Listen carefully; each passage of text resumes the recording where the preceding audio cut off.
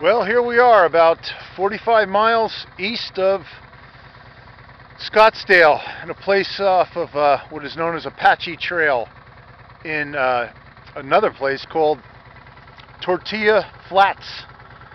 Looks like anything but flat around here. This is uh, a very windy, cold, and rainy road.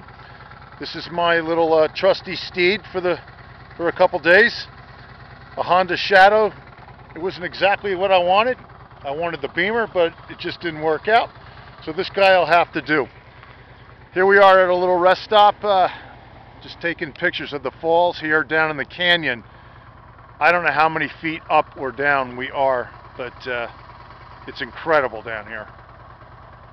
And uh, it's a slow ride. I've been on the bike now for about two and a half hours. And I was able to do 45 miles. And uh, it's gorgeous here. We're heading back now. We hit a lot of rain and it has been cold. It's a good thing I did bring my rain suit and I am quite bundled up. But it's frigid down here in this canyon.